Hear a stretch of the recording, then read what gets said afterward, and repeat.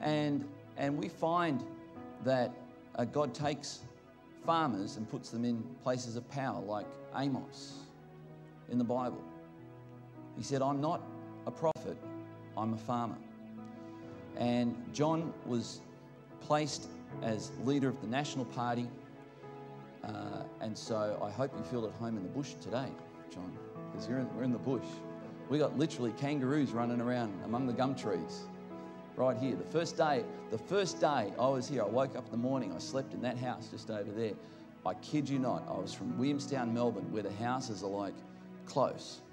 And you, you've got a, not a quarter acre, you, you've got a four hundredth of an acre. And,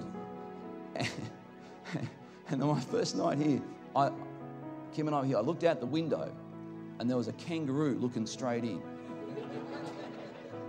Welcome to Tasmania.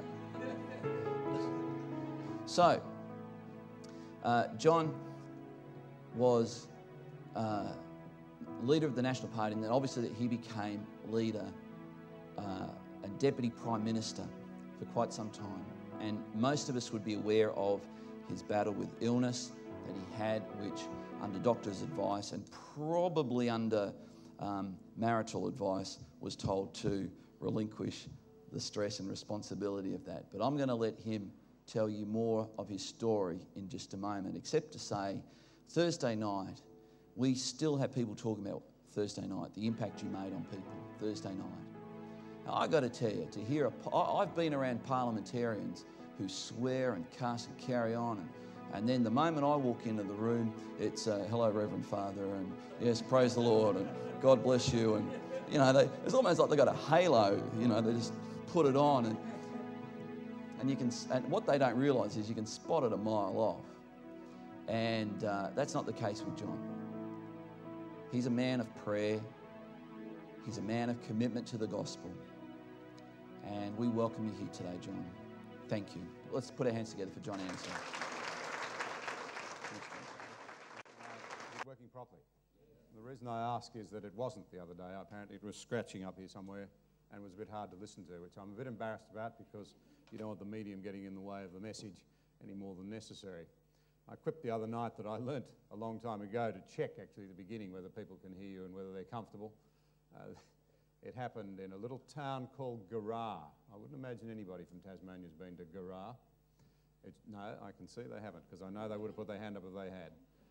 Garah is in uh, the northern part of my electorate between Moree and the Queensland border.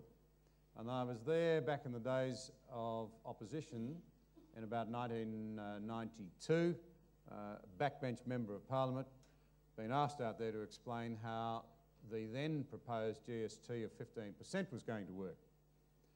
And the hall in Garah is unlined. It is a tin hall. And it started to do something that it doesn't do out there terribly often. It started to rain. Uh, and uh, you couldn't hear yourself over the din on the roof. Uh, and uh, somebody yelled out, We've been hearing about this GST. Is that a business input? Can we claim the rebate on it? Uh, but I could only just hear him, and I could see a further down the back. And I asked, I yelled out to him, Bill, this over this din, can you hear me? And he replied, He said, As a matter of fact, I can, even over the noise, but I'd really like to change places with someone who can't.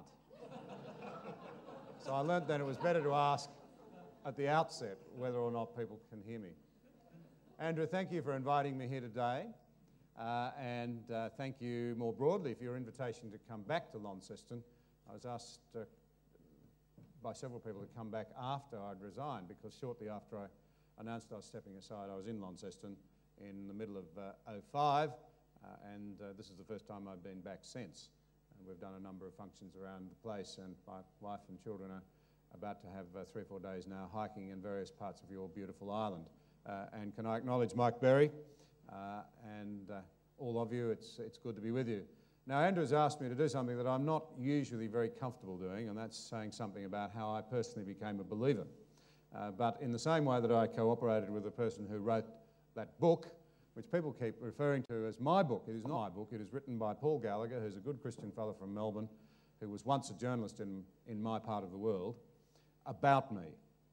Uh, and when he came marching through the door about three years ago with a contract from Random House to write my story, I remember thinking I'd really rather he didn't, uh, but before God, I'll simply try and answer his questions, and he can write the book, and I'll leave the, the rest in the Lord's hands. I have not read it and have no intention of reading it. Uh, so because I'm not comfortable talking about myself and my own story. But people sometimes find it useful, so in the hope and prayerful belief that it can be of some encouragement to some of you, uh, I can tell you that I grew up uh, uh in northern New South Wales in a very conservative, traditional grazing family.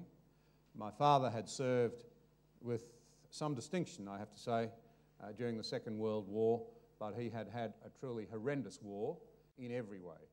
Uh, he was extraordinarily badly wounded and not expected to live uh, at Alamein with the 9th Division fighting Rommel's troops in the Middle East. He was invalided back. He found that his childhood sweetheart, for I think genuine reasons, uh, had decided that his pleas that he would not marry during the war in case he was killed were in fact uh, an excuse. Uh, and so she had married a dashing American officer and gone to live in America.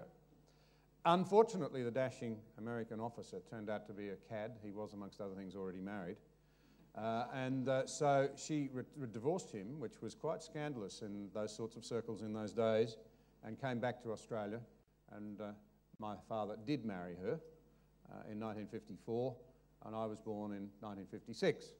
Uh, my sister was born quite soon after that, in 1958.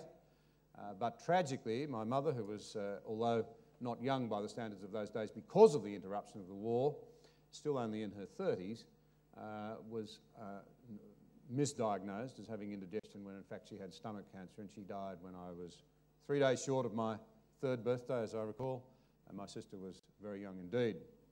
So that left us in a circumstance where I suppose it's fair to say that despite the best efforts of many, including my father, who really, in retrospect, I've just been reading, and it's on the public record, the story of that ABC lady who's going to contest John Howard's seat. Her mother died at an early age, and she and her sisters were farmed out. But my, farmer didn't, my father did not do that, I think greatly to his credit.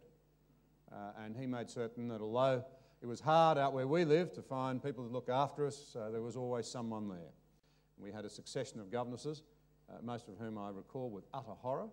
Uh, but, but one in particular, a lady I loved to the day she died, perhaps almost as my own mother. I remember her once, as I suppose most children even today do do.